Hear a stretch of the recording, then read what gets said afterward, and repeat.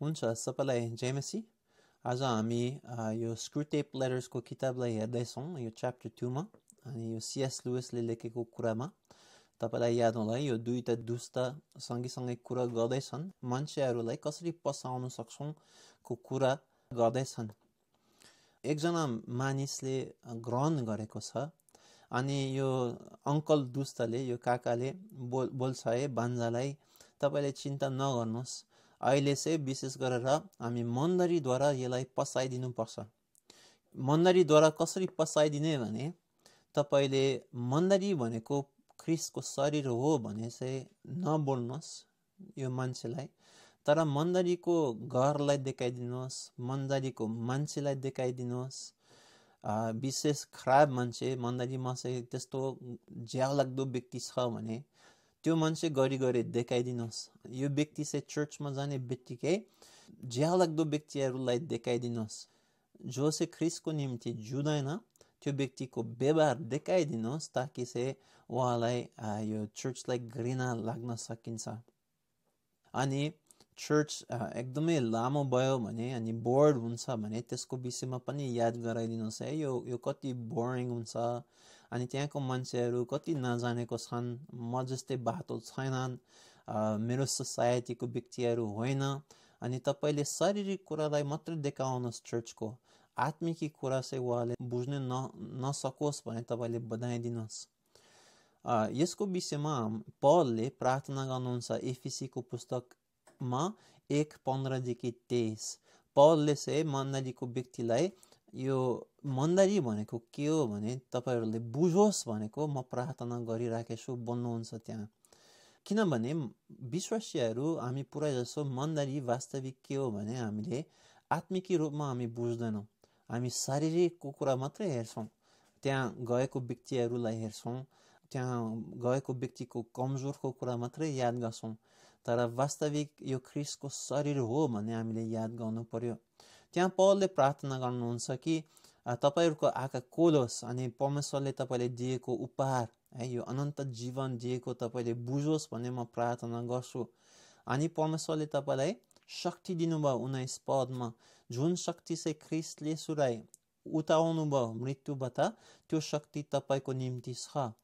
ख्रिस्ट अहिले चाहिँ सबै शक्तिभन्दा माथि हुनुहुन्छ सबै नामभन्दा माथि सबै अधिकारीभन्दा माथि यसो ख्रिस्ट हुनुहुन्छ यो अधिकार चाहिँ मण्डलीको निम्ति हो भने बाइस पदमा लेखेको छ अनि तेइस पदमा लेखेको छ यो मण्डली उहाँको शरीर हो आत्मिकी रूपमा मण्डलीको धेरै शक्ति छ अनि परमेश्वरले मण्डलीलाई धेरै प्रेम गर्छ अनि चलाउने चाहन्छ यो मण्डली भविष्यमा हामी अनन्त जीवनमा हामी जुनेछौँ ख्रिस्टसँगै अनि सैतनले त्यो बिर्सोस् भनेको उहाँको इच्छा हो। मन्दरीको आत्मिकी शक्ति चाहिँ याद नगरोस् तर मन्दरीको कमजोरलाई हामीलाई देखाउने कोसिस गर्छ सैतनले।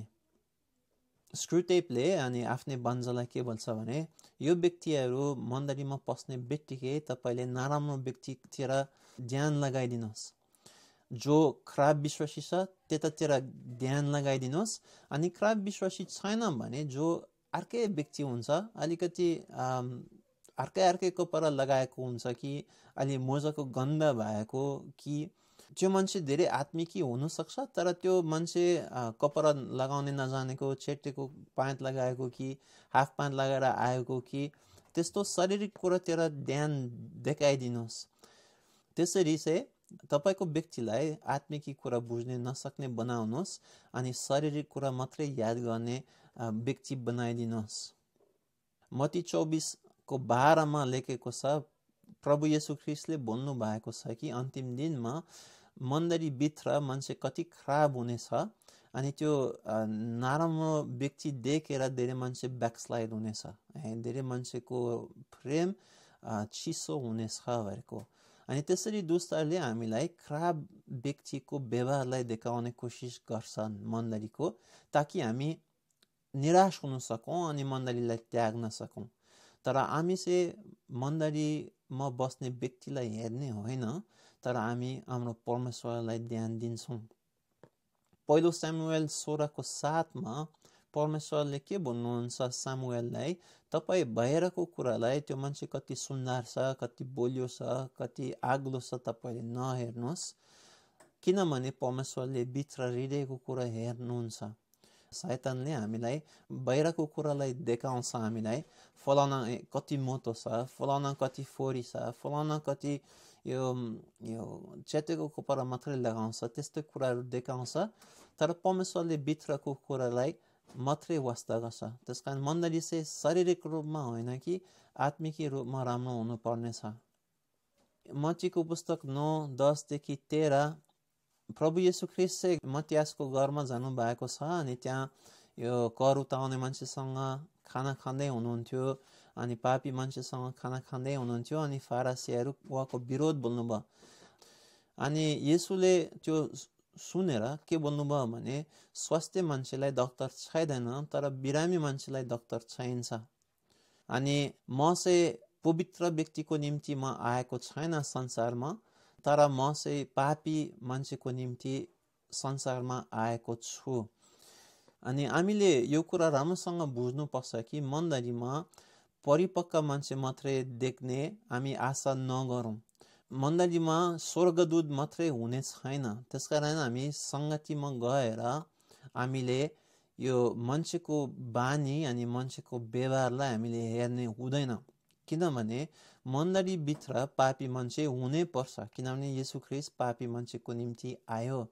बिग्रेको व्यक्ति हुनै पर्छ मण्डलीमा किनभने बिग्रेको व्यक्तिको निम्ति प्रभु यीशु ख्रिस्ट आउनुभयो। सबै मान्छे ठिक थियो भने कुनै पाप थिएन अनि राम्रो चरित्र थियो भने उहाँहरूलाई यसु ख्रिस्टको क्षमा चाहिन्थेन अनि मण्डली आउँथेन।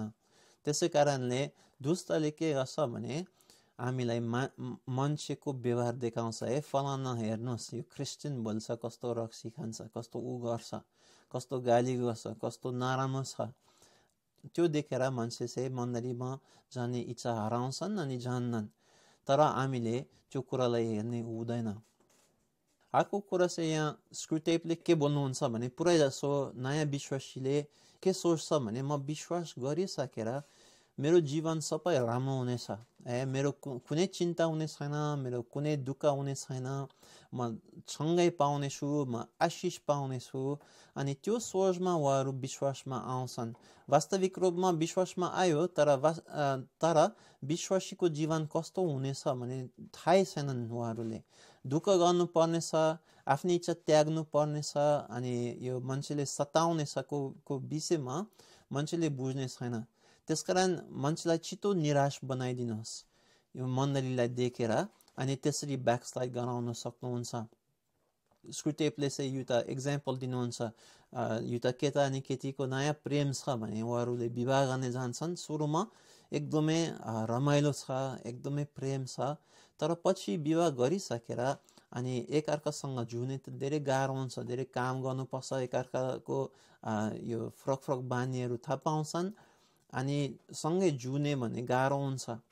सुरुको प्रेम चाहिँ परिपक्व प्रेम होइन। त्यो सबनाको प्रेम जस्तै हो। यो साँच्चै प्रेम होइन। किनभने साँच्चै जीवन पनि अनि साँच्चै साँच्चैतालाई एकअर्कालाई चिन्दैनन् तर पछि धेरै वर्षपछि एकअर्कासँग बस्यो भने त्यो प्रेम साँचो प्रेम हुन्छ। किनभने एकअर्कालाई राम्रोसँग बुझेको छन् अनि सँग जुएको छन् अनि अझै एकअर्कालाई प्रेम गरेको छन्। ओ उहाँले त्यसरी हो भन्नुभयो कि सुरुको विश्वासीको साँचो प्रेम वास्तविक छैन यो त सबनाको प्रेम हो अनि परमेश्वरले उहाँहरूको जीवनमा दुःख आउने दिन छ अनि त्यो दुःखमा रोक्दैन भने पछि उहाँको प्रेम गहिरो हुँदै जान्छ अनि वास्तविक परमेश्वरलाई प्रेम गर्न सकिन्छ बिउ छार्नेको दृष्टान्तमा हामी यो कुरा देख्छौँ हामीले देख्छौँ कि धेरैजनाले ग्रहण गर्छन् खुसी साथले सुरुमा वचन सुन्ने बित्तिकै तुरन्तै विश्वास गर्छन् खुसी साथले अनि आशा ठुलो आशा हुन्छ हो अब आशिष हुन्छ अनि प्रेम हुन्छ अनि अनुग्रह हुन्छ तर पछि यो संसारको दुःख आउँछ डुङ्गाहरू आउँछन् बारीमा कारा आउँछ बारीमा अनि यो संसारको दुःखमा तुरन्त त्यो त्यो प्रेम त्यो सुरुको प्रेम त्यो सुरुको बिउ मर्छ अनि विश्वास हराउँछ अनि दुष्टको इच्छा के हो भने हाम्रो विश्वासलाई त्यसरी खाने दुःखद्वारा अनि यो यो संसारको चिन्ताले हाम्रो विश्वासलाई खाने विचार गर्नुभएको छ। तर तपाईँ अनि म हामीले बुझ्नुपर्छ यो दुःखमा हामी रोक्ने हुँदैन। अनि हामी दुःखमा रोक्दैनौँ भने पछि हाम्रो जीवन धेरै फल फल्न सकिन्छ। हिब्रू बाह्रको एघारमा लेखेको छ सजाब पाउने भने गाह्रो कुरा हो। सजाब पाउने बेलामा दुःख लाग्छ तर पछि त्यो स्व स्वयं भने पछि त्यो सजाबले हाम्रो जीवनमा प्रशस्त फल फलाइदिन्छ अनि धार्मिकता ल्याउँछ जीवनमा अनि शान्ति ल्याउँछ जीवनमा। परमेश्वरले हाम्रो जीवनको दुःखद्वारा हामीलाई फल फलाउने व्यक्ति बनाउने चाहनुहुन्छ तर हामी रोक्ने हुँदैन। दोस्रो पत्रुस एक पाँचदेखि एघारमा पनि यस्तो लेखेको छ तपाईँको विश्वासको माथि चाहिँ तपिदिनुहोस् प्रेम अनि ज्ञान तपिदिनुहोस् अनि सेल्फ कन्ट्रोल तपिदिनुहोस् अनि पर्सिभियरेन्स यो सबै तपिदिनुहोस् तपाईँको विश्वासमा अनि यो सबै कुरा तपाईँले तपिदिनु भयो भने तपाईँको विश्वासपछि काम लाग्दो विश्वास हुन्छ अनि तपाईँ फल फलाउने व्यक्ति हुन सक्नुहुन्छ तर फल फलाउने व्यक्ति बन्नलाई धेरै दुःख गर्नुपर्छ अनि दुःख सुहाउनु पर्छ अनि अन्तिममा चाहिँ यो स्क्रुटेपले आफ्नै बन्जालाई के भन्छ भने नयाँ विश्वासीले पुरै जसो आफ्नै पापलाई बुझ्दैनन्। अनि अरूले बोलेको कुरालाई मात्रै विश्वास गरेर आयो तर पत्तु जस्तै पश्चाताप गर्यो। वास्तविक रूपमा आफ्नै हृदय बुझ्नु भएको छैन। अनि सुरुमा उहाँहरूको गमन छ। नयाँ विश्वासीको गमन के छ भने पहिले म संसारमा जुन थियो अहिले परमेश्वरको निम्ति म जुएको छु म सङ्गति आउँछु। अनि परमेश्वरले मलाई प्रेम गर्नुपर्छ। किनभने मैले कस्तो परिवर्तन गरेछु मेरो जीवनमा। अनि उहाँले त्यो देखेर म मलाई प्रेम गर्ने पर्छ परमेश्वरले। अनि यस्तो गमन छ यो नयाँ विश्वासीको जीवनमा। अनि सक्नेसम्म त्यो गमनलाई समातिरहोस् त्यो व्यक्तिले। अनि यसुले पनि यस्तो कता दिनुभएको छ लुकाको पुस्तक आतारा दसदेखि चौधमा यसुले बताउनुहुन्छ दुईजनाको विषयमा। पहिलो एकजना गोमन्दी व्यक्ति आउनुभयो पुजारी जस्तै व्यक्तिहरू आउँछ मन्दिरमा अनि हात उताएर प्रार्थना गर्नुहुन्छ। अनि परमेश्वरसँग के बोल्नुहुन्छ भने प्रभु धन्यवाद। किनभने म फलाना चोर जस्तै छैन। फलाना रक्सी खाने मान्छे जस्तै छैन। म एकदमै असल व्यक्ति हो। धन्यवाद तपाईँले मलाई असल बनाइदिनु भएको छ बोल्छ। म कति राम्रो छु म दशंश पनि दिन्छु अनि गरिबलाई पनि खुवाउँछु। अनि म कति राम्रो छ बोल्छ। तर दोस्रो व्यक्ति आउँछ दोस्रो व्यक्ति तुरुन्त तुरुन्तै गोप्तो परेर एकदमै रोएर कराएर चाहिँ प्रभु मलाई क्षमा दिनुहोस्। म कति नराम्रो व्यक्ति हो। म तपाईँको प्रेम पाउने योग्य होइन। अनि मलाई दया देखाउनुहोस् बोल्छ। अनि प्रभु यसो क्रिस्टले बोल्नुहुन्छ चौध पदमा कि यो सुरुको व्यक्ति चाहिँ क्षमा पाउने छैन। मुक्ति पाउने छैन तर दोस्रो व्यक्ति क्षमा पाउने छ किनभने नम्र हुनुपर्छ स्वर्ग जानलाई त्यसै कारण दुष्टले पनि हाम्रो जीवनमा यो गुमनको कुराहरू ल्याउने कोसिस गर्छ हामीले आफ्नै पापको महसुस गर्न नसकौँ बनाउने कोसिस गर्छ हामीलाई अनि हामी घमन्दी भयौँ भने हामी स्वर्ग जान सकिँदैन साँचो पश्चातापबाट तारा बनाउने कोसिस गर्छ दुष्टले त्यस कारण तपाईँ अनि म के गर्नुपर्छ भने कहिलेकाहीँ आफ्नै पापलाई हामीले बुझ्दैनौँ। त्यस कारणले हामी प्रार्थना गर्नु पर्यो ए प्रभु तपाईँले मेरो आफ्नै गल्तीको विषयमा मलाई सिकाइदिनुहोस्। मलाई देखाइदिनुहोस् ताकि म चाहिँ गुमाउँदी नहोस्।